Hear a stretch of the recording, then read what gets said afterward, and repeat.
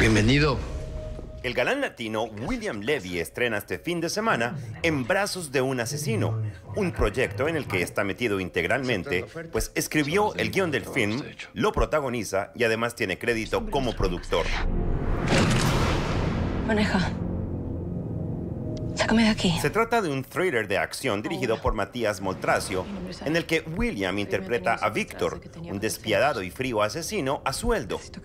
Él llega a la casa de un narcotraficante para discutir detalles de un trabajo y allí conoce a la bella Saray, una española que lleva nueve años secuestrada por el criminal. Víctor se marcha y descubre que ella se ha escondido en su vehículo y a partir de allí se traza un plan de escape, se descubren secretos y también despierta una fuerte pasión en medio del peligro. ¿Alguna vez has entrenado a alguien a ser como tú? A hacer lo que tú haces. Al lado de William actúan Alicia Sanz, Adrián Lastra, Roberto Sosa, Héctor D'Alessandro y Jin Jin. Siquiera tengo una identidad. En el Hotel Whitby de Manhattan hablamos con él.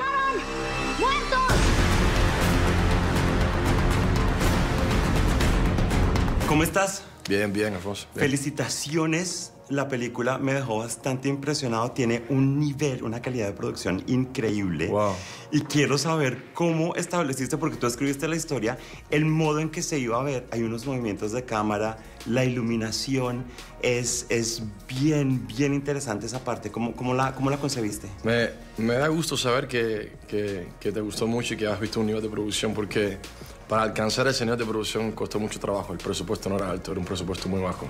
Eh, de hecho, perdimos un- un- uno de los inversionistas en preproducción de la película y tuve que entrar yo y mi socio y poner nuestro dinero para poder terminar la película. Y la verdad, obviamente no me pagué a mí ni un centavo en la película, nada, en ningún sentido de la palabra. Entonces, todo fue... el- todo lo que, lo que teníamos fue directamente para la, la pantalla, ¿sabes? Entonces lo queríamos ahí en un screen. Sácame de aquí. Y obviamente es difícil cuando tienes un presupuesto bajo y, y hacer algo de buena calidad. Entonces ah, fueron muchas horas de trabajo, un equipo de producción que trabajó muchísimo, muy duro, la verdad. Pero todo el mundo lo hizo con mucho amor. Cuando haces algo que amas y, y quieres de verdad hacerlo bien, obviamente eh, uno espera ese resultado y ve que lo ves así, la sí, verdad ¿no? me da mucho que, gusto. es que se nota que hay cariño detrás de cámaras. Hay partes de iluminación que me parecieron increíbles porque además esos cambios que noté en iluminación, en ambientación, van de acuerdo con lo que está ocurriendo y con las locaciones. Tú tienes un buen Entonces- ojo, ¿eh? tienes un buen ojo. No todo el mundo ve esas cosas a veces. Pero me gustó De muchísimo. hecho, de hecho, al principio, no sé si te diste cuenta, pero el personaje mío maneja una iluminación un poco diferente a la Claro. de ella. Al principio de la película no ves a los dos personajes juntos en una toma todavía. Lo ves todo el tiempo separado hasta que él emocionalmente abre. Se abre a ella y lo ves acerca por primera de vez él, los dos sí. juntos en la, en la pantalla. Sí. O sea, hay, una, hay un trabajo de cámara muy bonito, la verdad, que eso es obviamente trabajo del director y del director de fotografía. Entonces, eh, ellos, tu- la verdad, en equipo no- nos sentamos y trajeron sus ideas y, y al momento la compramos. Obviamente, tienen unas ideas muy, muy interesantes. Siquiera tengo una identidad. ¡Están muertos! ¿Me escucharon? ¡Muertos!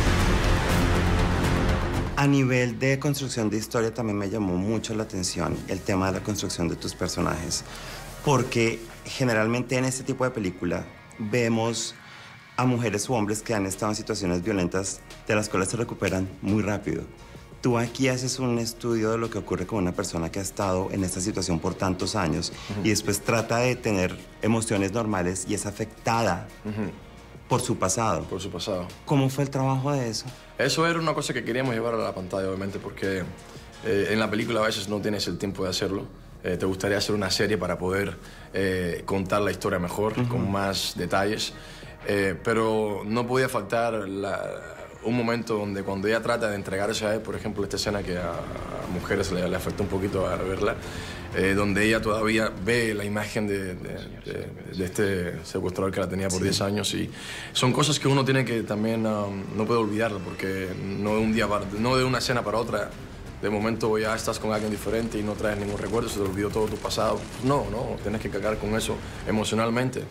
Y, y era, un, era una línea bastante fina en la cual estábamos nosotros caminando, porque los personajes, mi personaje no era un personaje que podría yo ni, ni siquiera agregarle un poco a mi personalidad, estar riéndome, divertirme, tenía que estar todo el tiempo en, un- en una línea de él, ¿no? Como es, como, como persona, como siente. Y, y a la misma vez no hice el personaje. Era, fue un trabajo bastante complicado, pero cuando uno lo hace en equipo y, nos sentamos todo el tiempo.